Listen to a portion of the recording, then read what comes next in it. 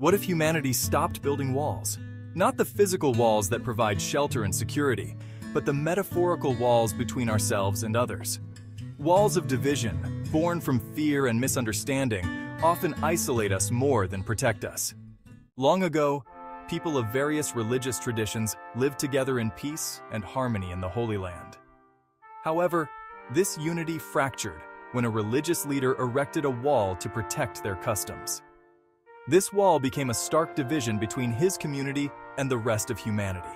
Inspired by this example, another religious leader soon built a wall of his own for the same purpose. Not long after, a third leader followed suit, constructing yet another wall to safeguard his community.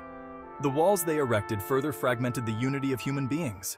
Each wall, though built with good intentions, created an unseen barrier that made it challenging for people to connect.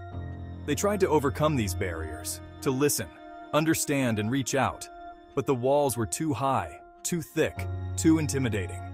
The inability to connect increased ignorance and gave birth to fear and suspicion.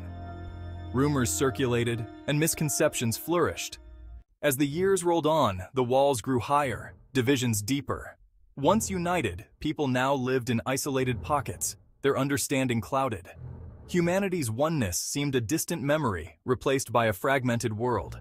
What if we tore down these walls, focused on what unites us, celebrated our differences instead of letting them divide us? In conclusion, the division among humanity, symbolized by these walls, has done more harm than good. It has fostered fear and mistrust, isolating us from one another. Yet the power to change this lies within us. Unity is crucial, through unity, we can understand each other, tear down the walls, and build bridges of respect and love.